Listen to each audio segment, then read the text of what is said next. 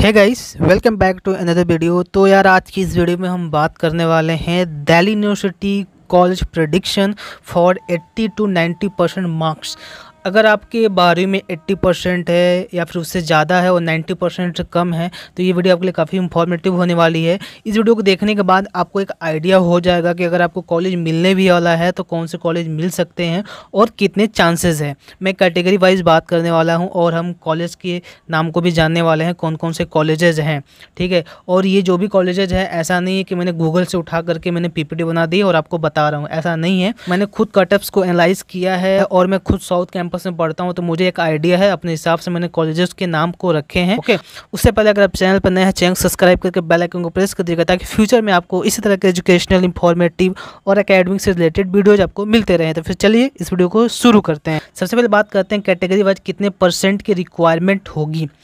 ये जो भी परसेंटेज है, आपके बेस्ट थ्री या फिर बेस्ट फोर के हिसाब से है, आप जिस कोर्स में एडमिशन लेना चाहते हो, उसके हिसाब से है।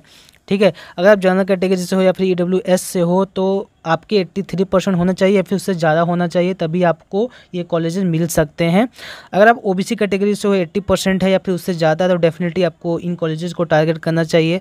अगर आप एस टी से हो तो 75 परसेंट है या उससे ज़्यादा है या उससे कम भी है तो भी आपको मिल सकते हैं।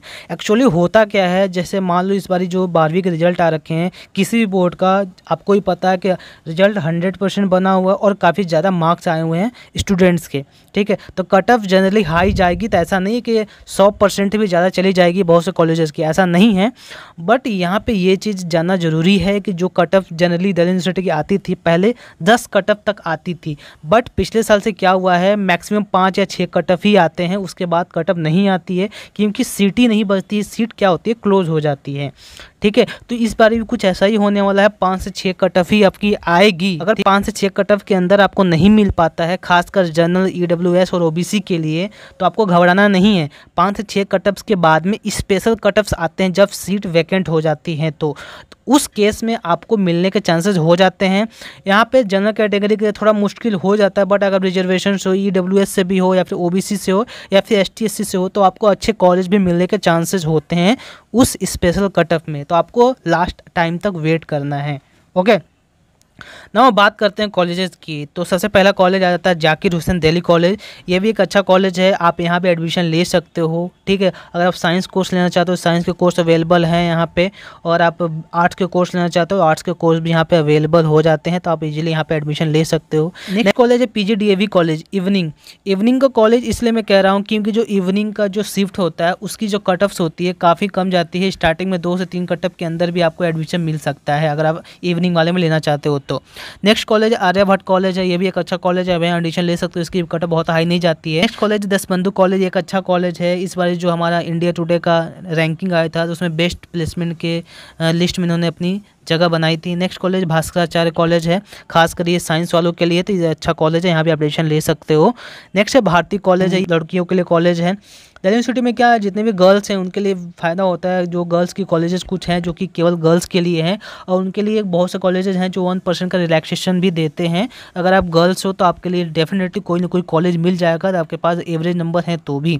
नेक्स्ट है आदित्य महाविद्यालय, ये भी एक अच्छा कॉलेज है। नेक्स्ट है भागनी निवेदिता कॉलेज है, ये भी गर्ल्स का कॉलेज है। नेक्स्ट है कॉलेज ऑफ़ वोकेशनल स्टडी है। नेक्स्ट है दौलत राम कॉलेज भी एक अच्छा कॉलेज है, और बेस्ट कॉलेज यहाँ पर एडमिशन ले सकते हो बिना कुछ सोचे, अगर आपको मिल रहा है तो। नेक्स्ट है डीडीयू कॉलेज भी एक अच्छा कॉलेज अगर आपको ये मिल रहा है तो डेफिनेटली आपको एडमिशन लेना चाहिए यहाँ पे, बिना कुछ सोचे, ठीक है? नेक्स्ट कॉलेज है दयाल सिंह कॉलेज दयाल सिंह कॉलेज भी अच्छा कॉलेज है, आप यहाँ पे एडमिशन ले सकते हो बिना कुछ सोचे। नेक्स्ट है कालिंदी कॉलेज है। नेक्स्ट है आईपी कॉलेज फॉर वुमन ये भी एक अच्छा कॉलेज है गर्ल्स के पॉइंट ऑफ़ व्यू बहुत अच्छा कॉलेज अगर आपको यहाँ मिलता है डेफिनेटली आपको एडमिशन ले लेना है। Next Janki Devi memorial college ये भी एक अच्छा कॉलेज है, आपको यहाँ भी एडमिशन ले लेना अगर आपको एडमिशन मिलता है तो। केशव महाविद्यालय है। नेक्स्ट आपका लक्ष्मीबाई कॉलेज है।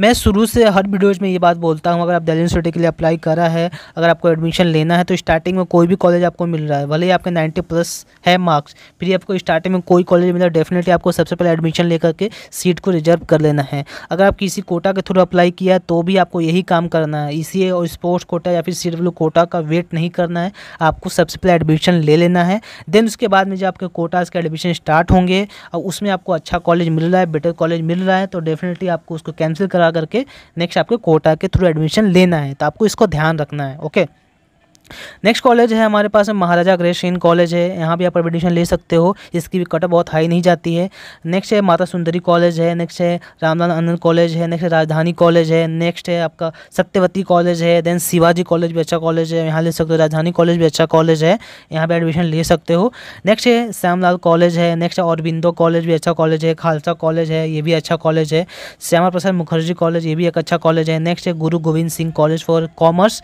ये भी एक अच्छा कॉलेज है आपको डेफिनेटली यहाँ जाना चाहिए अगर आप कॉमर्स के कोर्स करना चाहते हो तो।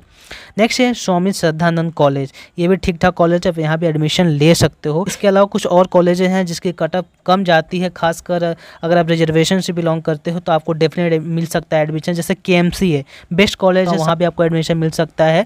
वो भी कब? स्पेशल कटअप जब आती हैं तब आपको बहुत ही चांसेस होते हैं वहाँ मिलने के अगर सीट वैकेंट रहती है तो।